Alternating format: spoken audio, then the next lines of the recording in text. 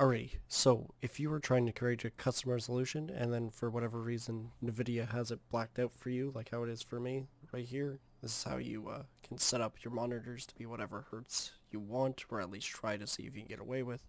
What you're going to need to do, like it says here, you're going to need to go to your manage. So just go over to your manage 3D settings, just give it a second to load, then you're going to want to find DSR right here.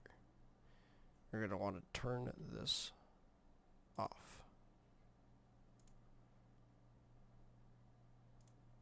Come on.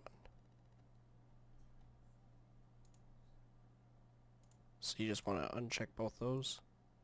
That way it labels off. Sorry, I was looking for it to actually say off. Then click apply.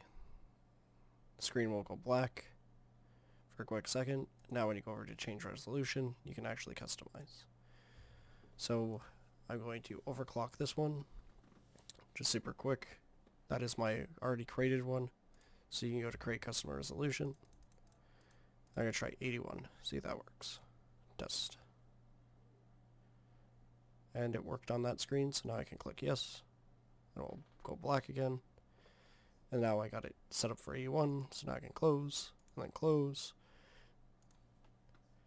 And then go down to my display settings, advanced display settings, make sure to select the right one, display adapter properties, list all, and then find the 81 and select it, and apply.